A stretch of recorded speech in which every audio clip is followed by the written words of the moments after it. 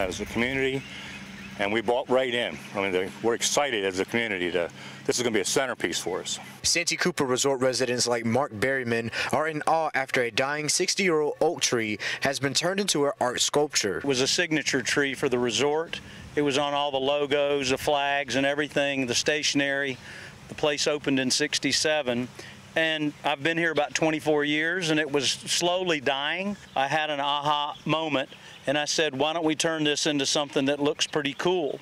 And so I said, let's make it into a sculpture. The design for the tree came from PGA golf professional Steve Smart. In about five days, two chainsaw artists turned the resort's vision into a centerpiece. Smart says the sculpture represents the life of Santee. Of course, you've got the lake is a, a big draw.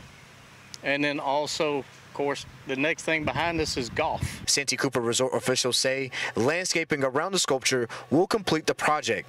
Residents are expected to gather around the sculpture at 6:30 to celebrate their new centerpiece. When we get this landscaped and, and get, get it lit, it's, uh, people that come in this community are going to want to live here, and we're excited about that. In Santee, I'm Devin Johnson for Street Squad.